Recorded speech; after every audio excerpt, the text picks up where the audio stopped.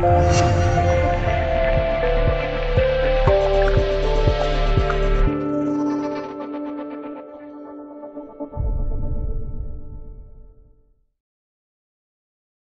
日，俄罗斯再次因为一些莫名其妙的理由遭到了美国的制裁。这种事对于俄罗斯来说也见怪不怪了。俄罗斯常年都享受着美国以及西方国家的各种制裁措施，至今仍然能够威慑欧洲、死磕美国，自然是有着自己的生存之道。自苏联解体之后，俄罗斯一蹶不振，国内经济萧条，直到近些年来开始出现好转。俄罗斯收入的其中一个大头来自军火贸易，俄制军工产品的口碑有目共睹，质量、性能都属上乘，价格也十分的厚道，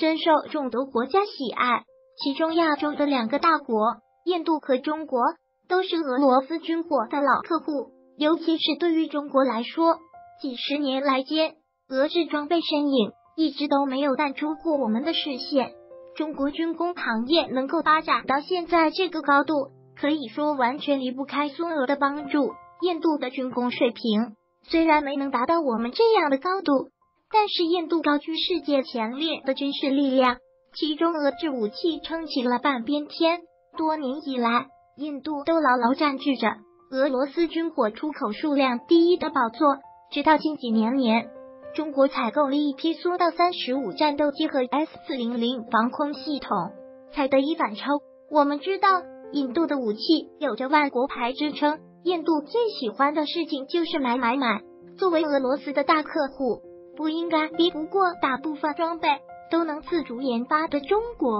这是为什么呢？日前有俄罗斯专家进行了解，释一方面是这两年印度的资金有些跟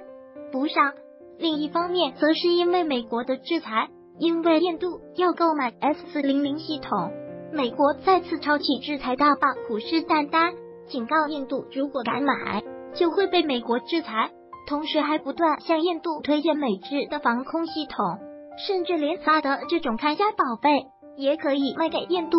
不过，印度对这些都不感冒，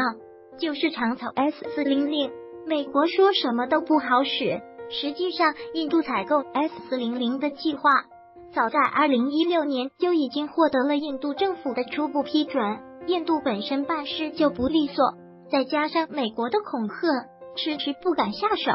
不过，最近俄罗斯略施小计，终于帮助印度下定了决心。这个计谋不是别的，就是直接给印度大额的优惠。据海外网本月二十三日报道，印俄双方将会在十月份。签订 S 四零零系统的采购协议，最终的成交价格为五十五亿美元，折合人民币约三百七十八亿元。这比最初谈判的价格六十五亿美元，整整少了十亿美刀，折合人民币约六十九亿。显然，巨额的优惠让印度十分心动，彻底将美国的制裁抛到脑后。